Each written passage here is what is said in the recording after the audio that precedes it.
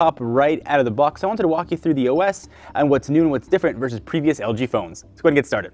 So Lollipop brings thousands of new features and LG adds thousands of new features on top of that. So there's a lot of things we can cover. I'm gonna show you some of the highlights of things that I found most useful in my time with the G Flex 2. The first is straight out of Lollipop. Look, home screen notifications. Yay! Those are here.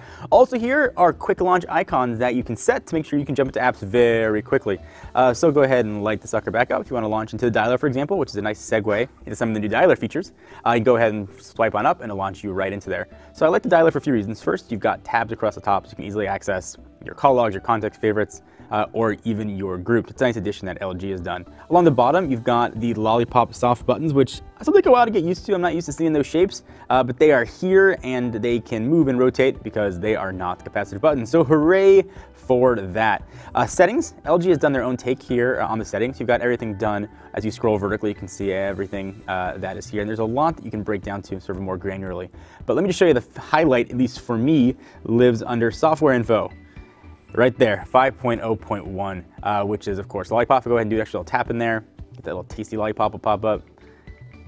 So of course with Lollipop, Google also ushered in material design, so you get a flat look even on LG's icons. Uh, let me show you some of the apps that LG is going to ship with the device. This is a Sprint version, so it does come with some Sprint add-ons. Uh, your carrier version or unlocked version, that's certainly going to vary.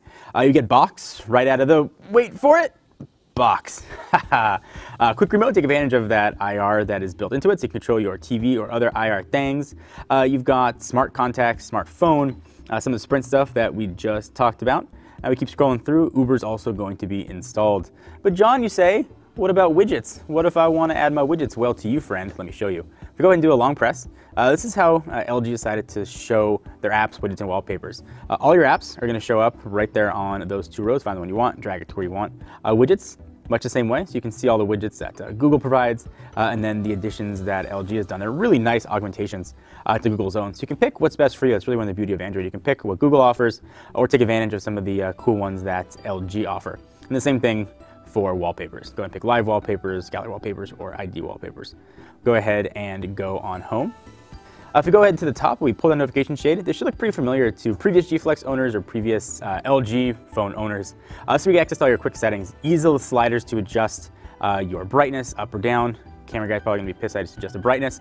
Uh, we can also choose call volume, jump right into settings. You can choose auto brightness, turn Wi-Fi calling on and off if your phone or your carrier supports it. Uh, and then quick memo. And you're probably saying, hey John, what's quick memo? And I will show you. Quick memo lets me take memos quickly right on the screen. If I could draw, I would draw something, but I am not a good drawer. Um, and let's play a game of trivia. Do you know what that icon is a picture of? I know you probably think the save icon, but let's test how old you are if you know what that's a picture of. I am old enough to know that is indeed a floppy disk, but I don't want to save this picture, so we're gonna go ahead and just go back. One of my favorite Lollipop features is how they did multitasking, and that is here uh, in its purest form, but with some new additions. So you can scroll through and see everything you've got. Let's see, oh, messaging, I'm over you. Either hit the X or you can just swipe it away. Uh, you also get access to LG's dual window support, so go ahead and hit that. I'll show you what that can do. So you get a set of number of apps. You can go ahead and pick what you want to run on the top and the bottom. So most recently I had Chrome on top and I had Gallery on the bottom, but let's just mix it up here. Let's go ahead and put Chrome on top and, and I'm feeling crazy. Let's go ahead and put YouTube on the bottom drag it, put it right to the bottom. And here's an illustration of what I think is one of the coolest things of Android, is that you can truly multitask on here. Um, and both applications are running fully uh, side by side. And it's also a really cool way to take advantage of that flexible screen. Uh, as you go ahead and hold it, you can sort of do two things at once. Obviously, you can do anything in landscape mode. Uh, but as the screen sort of comes at you, if you want to watch videos, for example, uh, you get a much more immersive experience here. Um, go ahead and put that back into portrait mode. Uh, you can also adjust the sizes here if you want to have a little more real estate to uh, watch your video or browse the web. You can go ahead and adjust the size uh, to get whatever you want, all the way down to super teeny tiny if you just want a little sliver of stuff to show up there. Go ahead and go back. It'll quit out the applications. Uh, go ahead and go back home. And that was a quick example of what you can do with some of the multitasking feature.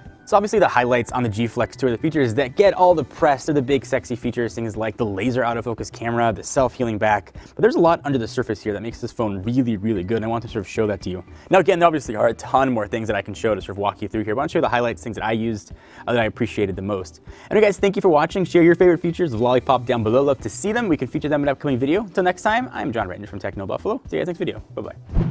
This episode of Techno Buffalo is brought to you by the all-new G Flex 2 from LG. life's good. Thank you guys for watching another Techno Buffalo video. Hope you enjoyed. We love consumer electronics here, and if you are as passionate about them as we are, hit the big subscribe button. We've got new videos coming at you every day. We talk about phones, tablets, laptops, and everything in between. And if you like video games, check us out at Twitch, where we play video games, although admittedly not very well, at twitch.tv slash technobuffalo. All links are right down below.